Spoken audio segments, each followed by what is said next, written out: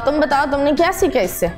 मैंने इससे कि, किस चीज़ से मुतालिक मतलब, कौन से कौन से क्लासेस ये देती है? मतलब मेरी से ज़्यादा बात ही नहीं होती आज मिलना हुआ बस।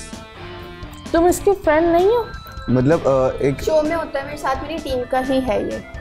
तो पसंद नहीं करते इसको? पसंद नहीं करता मैं लड़कियों से बस थोड़ा फासला रखता हूँ दूरी इख्तियार रखता हूँ मैं ज़्यादा लड़कों में रहता हूँ।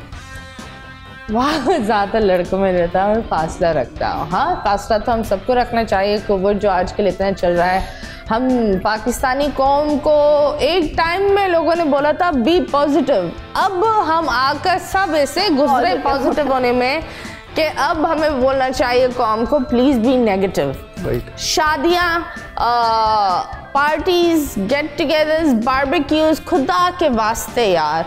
शायद वो बीमारी आप पर इतना नहीं भारी हो लेकिन किसी के लिए जानलेवा हो सकती है। सो प्लीज़ वे मास्क फासला रखें और इसी तरह ही ज़िंदगी चलेगी। We have to like you know yes खैर कोई बात नहीं मुझे एक चीज़ पता चली किसी की लड़ाई हुई थी?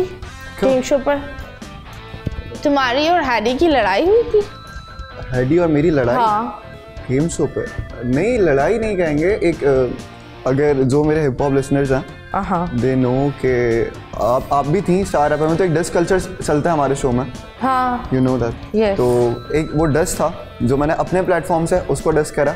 तो उसको चाहिए था कि वो अगर वो एक रियल आर्टिस्ट है तो एक वो हिप हॉप को समझता है। तो वो वहाँ से मुझे रिप्लाई करता।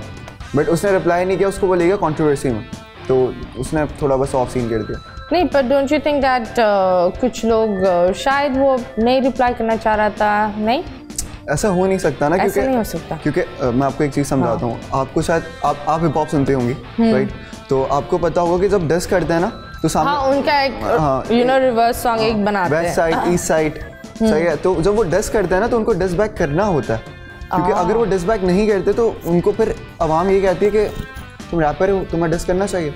हाँ सही बात दिस कल्चर लेके मैं अपना हिप हॉप जॉनरा प्रमोट कर रहा हूँ एंड दैट्स इट मेरा उससे कोई पर्सनल इशू नहीं है। लेकिन तुम्हारे तुम्हारे पर बहुत बैकलैश हुआ था राइट वो वो इसलिए क्योंकि जितने लोग हैं उनको हिप हॉप की नॉलेज नहीं है। ठीक है और वो मेरी मिस्टेक है कि मैंने हिप हॉप को मैं टीवी पे लाने की कोशिश की। नहीं वो हम तो हिप हॉप को यही समझते हैं ना जैसे यंगस्टर्स आते हैं पेप्सी का डब्बा खोलकर हमें बता रहे होते हैं कि मैं छोटा था वो सारी अपनी मजबूरियाँ बता रहे होते हैं बचपन में ये हुआ वो हुआ यू लाइक ओके इस चीज़ पर नाचना है या रोना है क्या करना है? पर खैर हाँ। बोल एंटरटेनमेंट के शोज़ देखने के लिए हमारे चैनल को सब्सक्राइब करें और बेल आइकन पर क्लिक करना ना भूलें।